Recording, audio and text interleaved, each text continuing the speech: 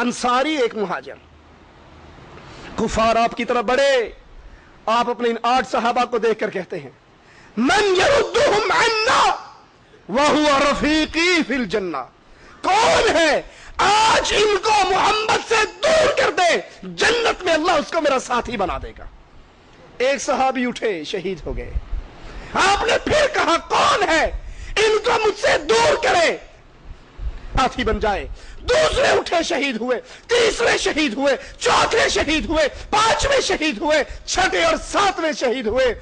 آٹھویں کا جسم ابو بکر نے دیکھا تو اس پہ اسی زخم لگے ہوئے تھے۔ آٹھوں کے آٹھوں شہید ہو کر اللہ کی جنت کے مہمان بن گئے۔ یہ جنت چیز ہی ایسی ہے۔ یہ جنت یہ جنت جو اس میں پہنچ گیا، فقد فاز، وہ دنیا اور آخرت میں کامیاب ہو گیا۔ اس کا مستقبل سور گیا۔ جنت کے سچے طلبگار آسمان سے اترے ہوئے فرشتے نہیں، ہم جیسے انسان تھے۔ آپ جیسے انسان، ہم جیسے انسان۔ انسان ہونے کے ناطے۔ ان سے گناہ بھی ہوتے تھے۔ ان سے غلطیاں بھی ہوتی تھی۔ ان سے خطا بھی ہوتی تھی۔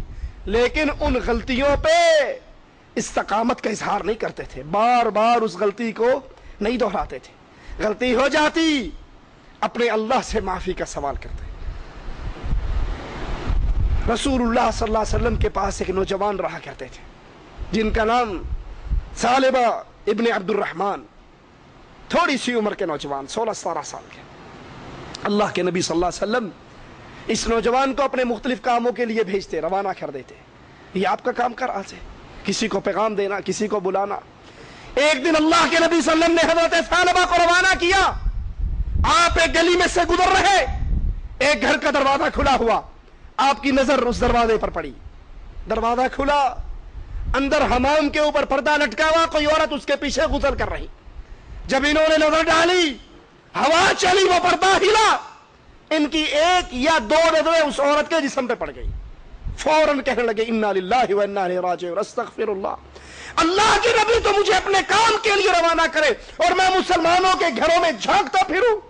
اب یا تو میرے بارے میں اللہ کے نبی پر آیات اتر آئیں گی، یا میرا شمار منافقوں میں ہو جائے گا۔ رونے لگے، اللہ سے معافی مانگنے لگے، مدینہ چھوڑ کے نکل گئے۔ رسول اللہ صلی اللہ علیہ وسلم نے صحابہ سے کہا، طالبہ کو دیکھو کہاں ہے۔ صحابہ نے کہا، آ جائے گا، کہیں گیا ہوگا، کسی کام گیا ہو۔ ایک دن گزر گیا، دو دن گزر گئے، تین دن گزر گئے۔ آپ نے صحابہ کو کہا، جاؤ اس کو تلاش کرو۔ مدینہ سارا چھان مارا، طالبہ نہ ملے۔ اللہ کے نبی صلی اللہ علیہ وسلم نے حضرت عمر کو، حضرت خالد کو کہا، جاؤ، مدینہ سے باہر تلاش کرو۔ اب یہ صحابہ مدینے سے باہر تلاش کر رہے۔ ایک پہاڑ کے دامن میں کچھ چرواہوں نے ان صحابہ کو دیکھا تو کہا، کیا تلاش کرتے ہو؟ کہا، ایک نوجوان ہے، اس اس صفت کا، اس طرح کا چہرہ، اس طرح کے کپڑے۔ وہ گما ہے، اس کو تلاش کر۔ کہا، شاید تم اس رونے والے نوجوان کو تلاش کر رہے ہو۔ کہا واللہ ما ندری عن کا ہے ہم تو اس کے رونے کو نہیں جانتے۔ کہا، اس پہاڑی کی چوٹی پہ ایک نوجوان ہے۔ چالیس دن سے ہم نے سوائے اس کے رونے استغفار اور معافی کے کچھ نہیں سنا۔ کہا، اس تک کیسے جایا جا سکتا ہے؟ کہا، اثر کے بعد وہ نیچے اترتا ہے۔ ہم اپنی بکریوں کا دودھ، ایک پیالہ اس کو نکال کر دیتے ہیں۔ وہ پی کر پھر استغفر اللہ کرتا ہوا، اللہ سے معافی مانگتا ہوا، روتا ہوا اس پہاڑ پہ چڑھ جاتا۔ یہ صحابہ انتظار میں رک گئے۔ اثر کے بعد وہ حضرت طالبہ نیچے اترے سو کر کانٹا ہوئے دودھ پی کے روتے ہوئے واپس جانے لگے تو ان صحابہ نے پکڑ لیا۔ کہنے لگے، میری قوم کیا چاہتے ہو؟ کہا، تجھے رسول اللہ صلی اللہ علیہ وسلم نے بلایا ہے۔ کہا، میرے بارے میں کوئی آیت اتر آئی؟ کہا، ہمیں نہیں پتا۔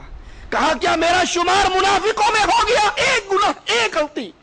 لیکن اس غلطی پہ استقامت نہیں سیفٹیوں کا پورا بنڈل خرید کے گھر میں نہیں رکھا کہ روزداری شیو کرنی ہے۔ روز گناہ کرنے، نہیں، یہ غلطی ہو گئی ہو گئی۔ انسان ہونے کے ناطے۔ اب اس پہ معافی کیسے؟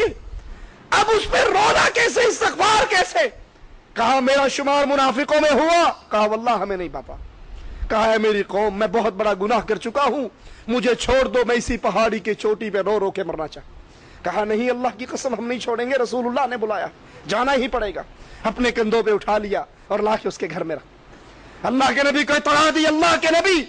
سالبہ اپنے گھر میں ہے۔ رسول اللہ صلی اللہ علیہ وسلم اس کی طرف گئے۔ جو ہی دروازے پر پہنچے، حضرت ثعلبہ نے رسول اللہ صلی اللہ علیہ وسلم کو دیکھا۔ فوراً چیخ کے کہتے ہیں، اللہ کے نبی، کیا میرے بارے میں آیات اتر آئی؟ آپ نے کہا، نہیں۔ کیا میرا شمار منافقوں میں ہو گیا؟ آپ نے کہا، نہیں۔ آپ سالبہ کے پاس آتے ہیں، اس کے سر کو اٹھا کر اپنی گود میں رکھ لیتے ہیں۔ سالبہ تڑپ کے کہتے اللہ کے نبی یہ سر گناہوں سے بھر چکا ہے۔ اس کو اپنی مبارک ران اور گود میں نہ رکھو، اس کو زمین پہ رکھ دو۔ آپ نے کہا، نہیں سالبہ، میں اس کو اپنی گود میں ہی رکھوں گا۔ کہتے ہیں، سالبہ، کیا چاہتا ہے؟ کہتا ہے، اللہ کی معافی یہ چاہتا ہوں۔ کہا، کس سے ڈرتا ہے؟ کہا، اللہ کے عذاب سے ڈرتا ہوں۔ کہا، کس کی تمنا کرتا ہے؟ کہا، اللہ کی جنت کی تمنا کرتا ہوں۔ رسول اللہ صلی اللہ علیہ وسلم فرمانے لگے طالبہ میں دعا کرتا ہوں۔ اللہ تجھے، جس سے تو ڈرتا ہے اس سے بچا دے۔ جس کی تیری خواہش ہے وہ عطا کر دے۔ جو تیری تمنائیں ہیں وہ پوری کر دے۔ کہتے ہیں، اے رسول اللہ صلی اللہ علیہ وسلم، میرے گوشت اور میری ہڈیوں کے درمیان ایسے محسوس ہو رہا ہے جیسے چیونٹی اور کیڑی چلتی ہے۔ آپ نے کہا، تو یہ محسوس کر رہا ہے؟ کہا ہاں۔ کہا سالبہ یہ تو تیری موت کے آثار ہیں جو آ چکے ہیں۔ اب تو تیری موت کا وقت آ چکا ہے۔ اپنی زبان مبارک سے سالبہ کو کلمہ پڑھاتے ہیں۔ لا الہ الا اللہ کا اقرار کرتے ہیں۔ اور ان کی روح اس دنیا سے اگلے جہان کے لیے پرواز کر جاتی۔ اس کا جنازہ لے کر مسلمان قبرستان کی طرف جا رہے رسول اللہ صلی اللہ علیہ وسلم بھی ساتھ ہیں۔ صحابہ نے اللہ کے نبی صلی اللہ علیہ وسلم کے لیے کافی جگہ چھوڑی ہوئی کہ آپ آرام سے چل سکیں۔ حضرت عمر کہتے ہیں، میں دیکھتا ہوں اللہ کے نبی اپنے پاؤں کی انگلیوں پہ چل رہے ہیں۔ میں نے کہا اللہ کے نبی صلی اللہ علیہ وسلم، آپ تو ایسے چل رہے ہیں جیسے بڑا ازدحام ہو، رش ہو۔ حالانکہ آپ کے لیے بڑی کھلی جگہ چھوڑی ہے۔ آپ پھر ایسے کیوں چلتے ہیں؟ کہا، عمر، تجھے کیا پتا سالبہ کے جنازے کے لیے، اس کی نماز کی شرکت کے لیے آسمان سے اترے، فرشتے اترے ہیں۔ میں اپنے قدموں کو رکھنے کی جگہ نہیں پا رہا۔ جنت کے سچے طلبگار، گناہ ہو جائے، غلطی ہو جائے، فوراً اپنے اللہ کی طرف رجوع کرتے ہیں، اپنے اللہ سے دوستی لگاتے ہیں، اللہ سے تعلق جوڑتے ہیں۔ جنت کے سچے طلبگار کون ہوتے ہیں جو پوری دنیا سے کٹ جاتے ہیں؟ اللہ کے علاوہ نہ کسی کے سامنے سجدہ کرتے ہیں، نہ رکو کرتے ہیں، نہ قبر، درخت، پتھر کا طواف کرتے ہیں۔ مانگتے ہیں اللہ سے، ڈرتے ہیں اللہ سے۔ منت اللہ نام کی، نظر اللہ نام کی، نیاز اللہ نام کی، وہ اللہ کے ساتھ شرک نہیں کرتے۔ ان کی گردنیں کٹ جاتی ہیں، غیر اللہ کے سامنے جھکا نہیں کرتی۔ وہ بھوک سے مر جاتے ہیں، لیکن اللہ کے علاوہ کسی مردے کو داتا اور غریب نواز نہیں کہتے، بندہ نواز اور بندہ پرور نہیں کہتے۔ وہ اللہ کے علاوہ کسی کو غوث اعظم نہیں سمجھتے، وہ اللہ کے علاوہ کسی کو مشکل کشا نہیں کہتے، وہ اللہ کے علاوہ کسی کو حاجت روا نہیں کہتے۔ وہ اپنا دامن، اپنا تعلق ایک اللہ سے جوڑتے ہیں۔ اور جو توحید میں اتنا کھڑا ہو جاتا ہے۔ پھر اس توحید کے عقیدے کی وجہ سے مالک کا اعلان بھی سن لیجیے۔ فرمایا، حق اللہ علی العباد ان یعبدو یہ اللہ کا حق ہے۔ اس کے بندوں پر ان یعبدو کبھی یا علی مدد نہ کہیں۔ کبھی یا رسول اللہ مدد نہ کہیں۔ کبھی پیر جیلانی کو غوث اعظم نہ کہیں۔